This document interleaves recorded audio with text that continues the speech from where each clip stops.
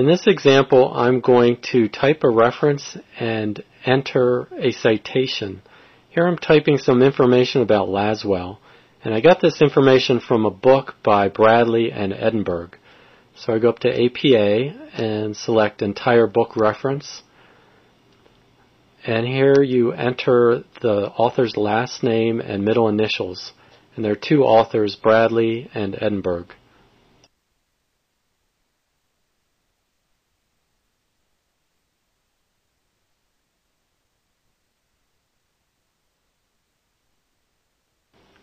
And when I'm done typing, I click OK, and that fills in the ampersand and the commas and whatnot.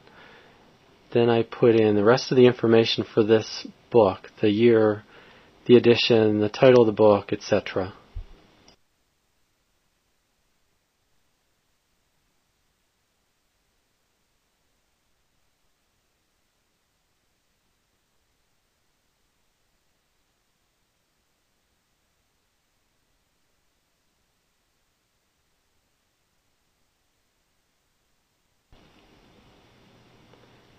If this was a web reference, I would click here and fill in some additional information, but it's not, so I'm going to click OK. This is now just asking me to verify some citation information, and I click OK. Now I have to select a style of citations, and the, number two is the one I want. Click OK, and it inserts that citation into the body of my paper. It also put the reference on the reference page, which is down a little farther. Here it is.